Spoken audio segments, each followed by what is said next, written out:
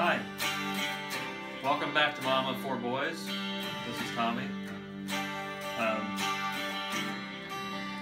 gonna do another guitar video tonight. Uh, tonight I'm playing a uh, white 2001 Dean uh, Flying V. It's, uh, it's one piece. And I bought this guitar right around 01, so I've had it for 21 years. Um, and I've played it an awful lot. It uh, has a wonderfully thin neck on it, um, and uh, it just sounds dynamite. It's got uh, uh Seymour Duncan uh, pickups and uh, two volumes, one tone. Of course, their standard toggle switch for the the the bridge position, both pickups, and then the neck position.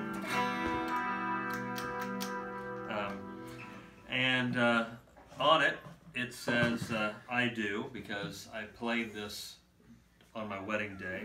Uh, I uh, played it at church in a tuxedo, and uh, and I got to sing to my future wife, and uh, and then we got married during the church service. So it was a really, really big deal.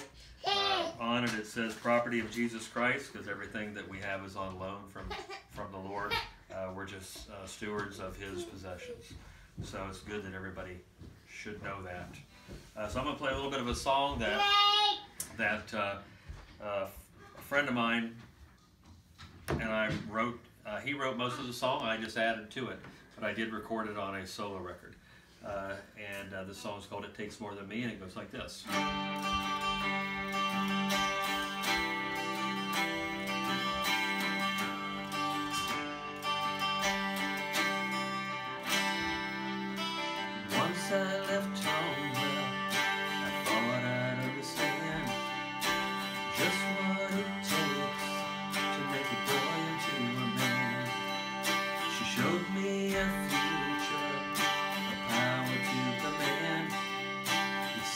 Sometimes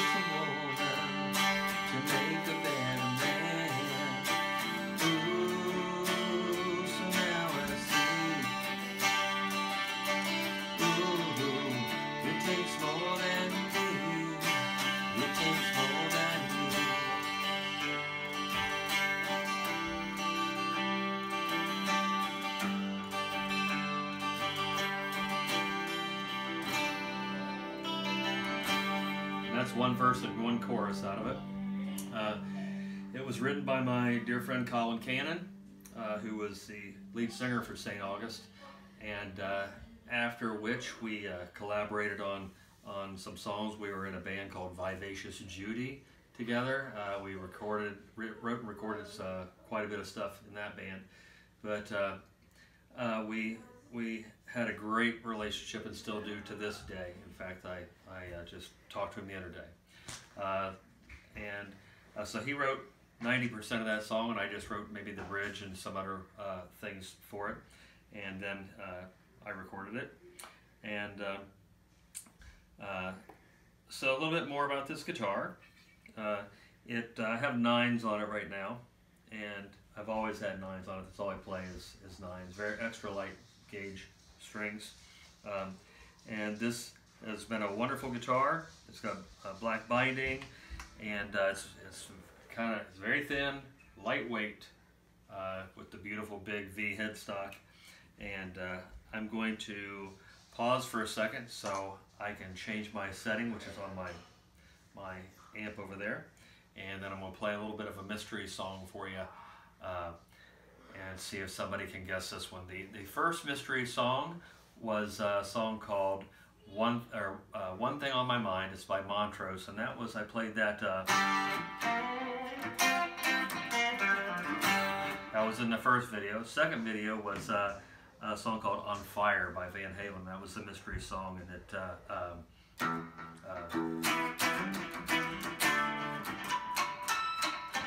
had a bunch of that in it.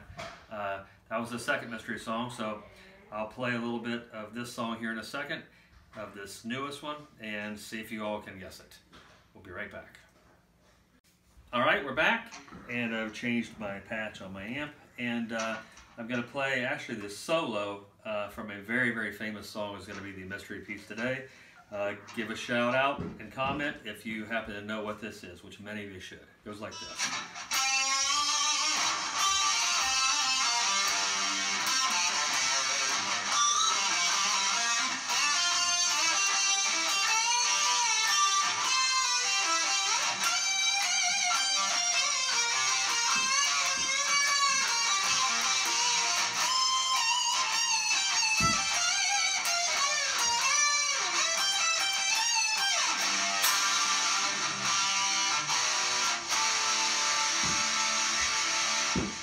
So there you have it.